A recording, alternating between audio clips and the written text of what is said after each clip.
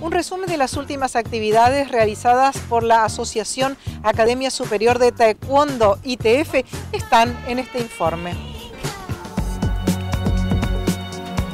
Con la presencia del máster Jorge de Marchi, titular de la Asociación Academia Superior de Taekwondo ITF, con el acompañamiento de miembros de la comisión e instructores mayores, se realizaron múltiples actividades en las jornadas que marcaron el inicio del mes de julio y que forman parte del calendario 2016.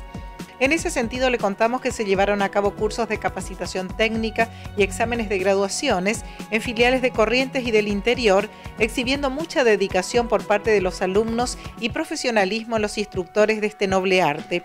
Fomentando la sana competencia, más de 60 competidores de las filiales de Corrientes Capital, del interior provincial y del Chaco participaron del Torneo Nacional de Posadas, marcando una fuerte presencia de la asociación que se coronó con el éxito que se vio reflejado con logros traducidos en premios en todas las categorías.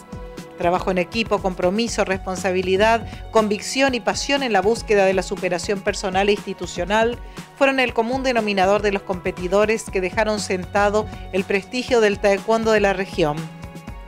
Finalmente destacamos que este sábado 9 de julio la actividad se concentra en un curso de capacitación técnica en la filial de las 300 viviendas. En tanto, el domingo 10 en horas de la mañana habrá un curso de capacitación técnica y examen de graduaciones en categorías GUB y DANES en la filial de Curuzucuatiá y por la tarde examen de graduaciones en la filial de Santo Tomé.